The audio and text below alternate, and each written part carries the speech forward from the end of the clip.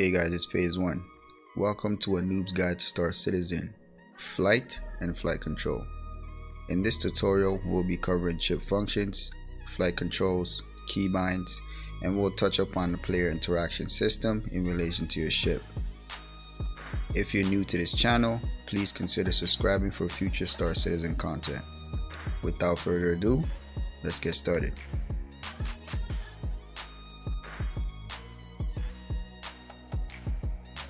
To get started, find your way to the ship spawn terminals. If you spawned at ArcCorp, head over to the Rikers Memorial Spaceport. If you're at Hurston, head over to Teasa Spaceport. If you're at New Babbage, head over to the New Babbage Interstellar Spaceport. In this tutorial, we are at Port Olisar, so we will just head downstairs all your ship at the terminal by holding F and left clicking. And head to the landing pad.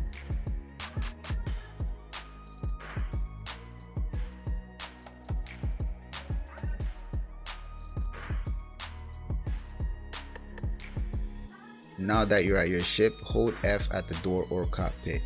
You'll see available options to enter the ship. Left click to enter the ship.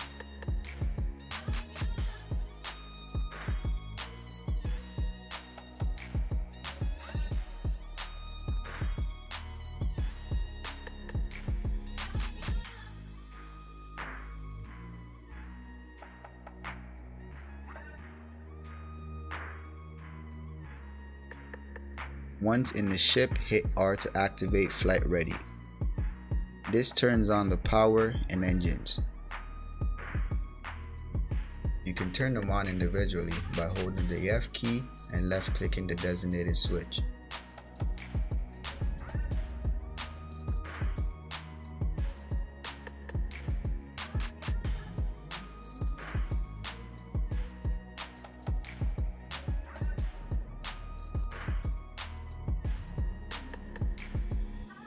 If you're in a hangar, you'll need to request permission to take off. Use your MFD or mobiGlas to contact the air traffic control.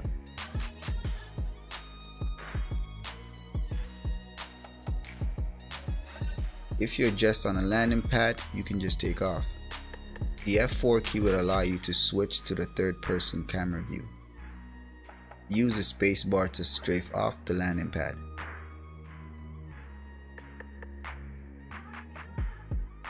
Moving your mouse would allow you to pitch and yaw.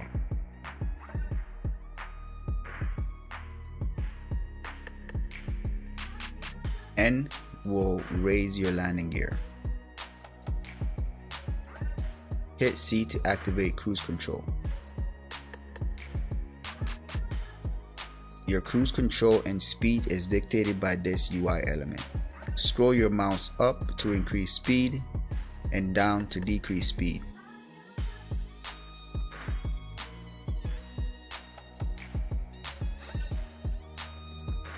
Hit C once again and your ship will begin to stop.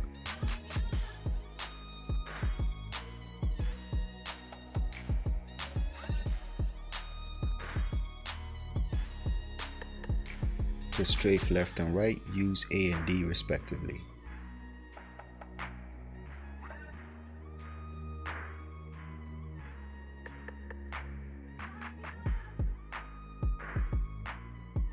W and F strafes forward and backwards.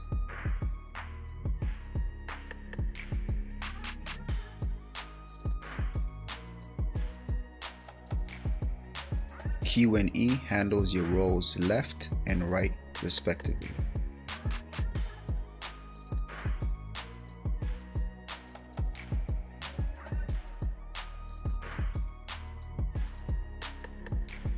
Spacebar will strafe the ship up and control will strafe the ship down.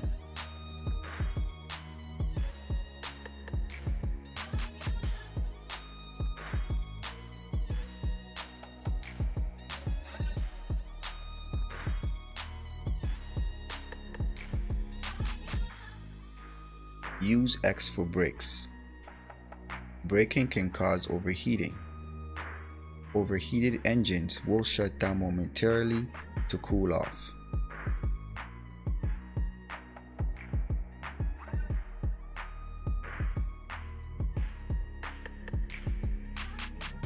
Activate the afterburner using the left shift button.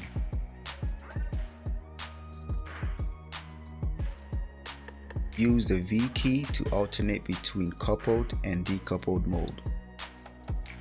In coupled mode, your ship avionics will work together to push you towards the direction you're facing. This is what we're used to when we fly planes and drive cars. In decoupled mode, your ship will move in the direction in which you thrust towards. This is additive, meaning if your ship is already moving in one direction, then thrust in another, your ship will move towards that direction until you apply counter thrust.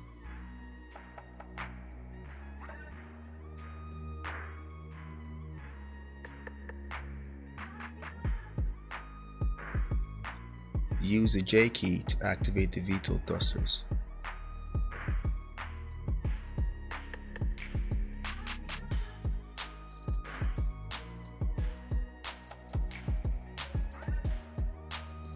The Z key enables free look. Take some time to observe your cockpit.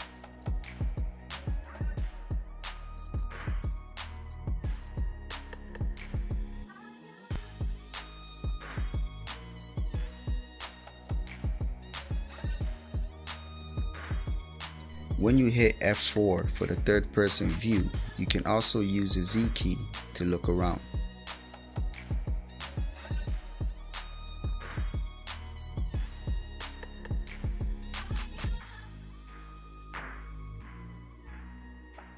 As you look around, I'm sure you notice multifunctional displays. These are also known as MFDs. In the center, you'll see the star map. These MFDs are customizable. You can switch between power, weapons, shields, signature, and comms. When the ship is on, the R key will allow you to alternate between gimbals and gimbal lock. This ship currently has fixed weapons equipped. If you have gimbaled weapons, you will see a larger circle which represents your targeting radius. Use T to turn on headlights.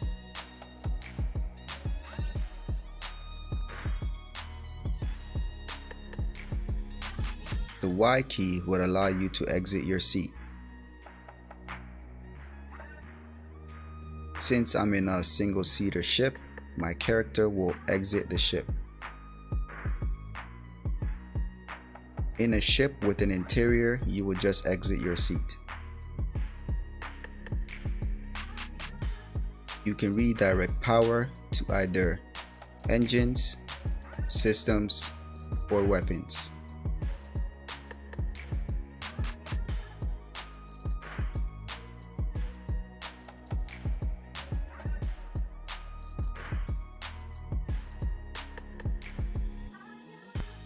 While holding F, you can also manually distribute the power. H to alternate between countermeasures, which is your flares and your chaff. G will activate the countermeasure.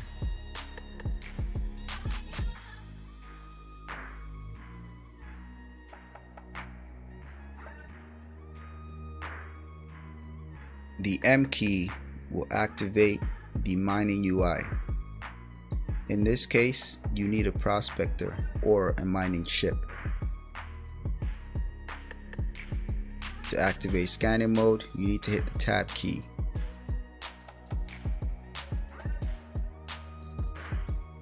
Use the scroll wheel to adjust the scan radius. Hold the left mouse button to launch your scan.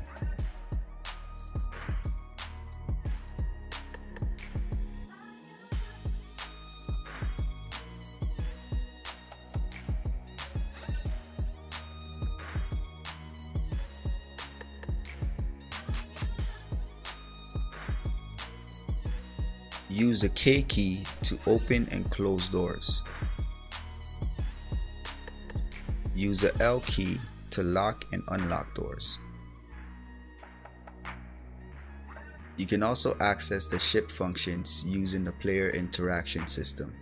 You can do this by holding F and right clicking. This will allow you to access functions for the player character themselves as well as the ship that you're sitting in as well as your mobiGlas.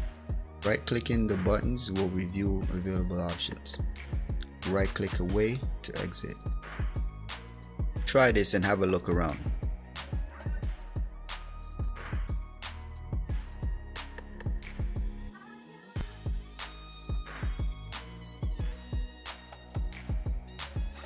Use B to activate your quantum drive.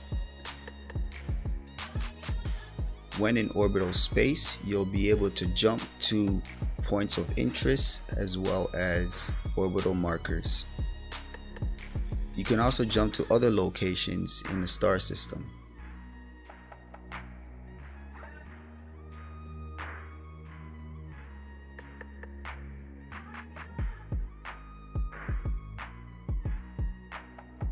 But if you like your ship to guide you through the jumps, you can use the star map.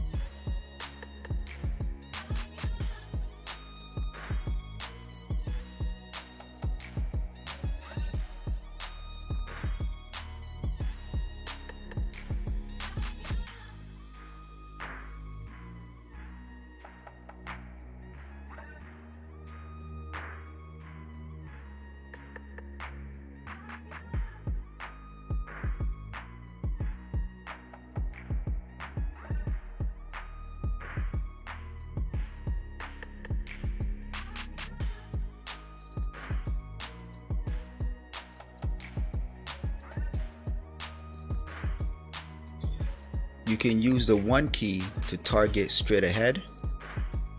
The number 2 key would allow you to alternate between components of that targeted ship. And the 3 key will allow you to cycle enemy ships.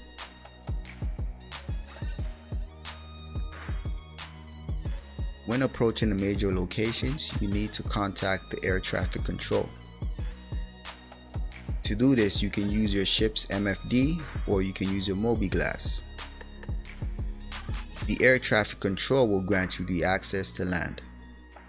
Without doing this, you can receive an infraction.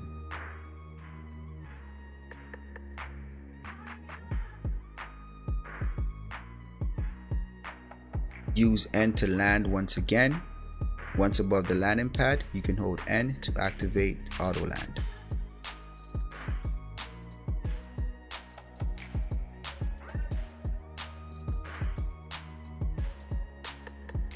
Thank you for watching this video. If you learn anything, make sure to leave a like. If you haven't already, subscribe for future Star Citizen content. I will see you on the next one.